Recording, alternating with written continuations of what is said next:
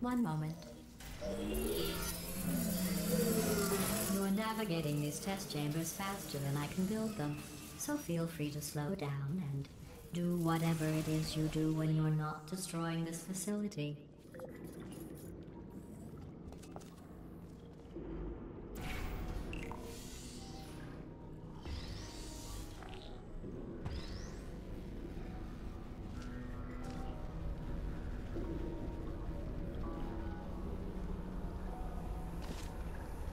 I'll give you credit. I guess you are listening to. Maybe I was wrong about you.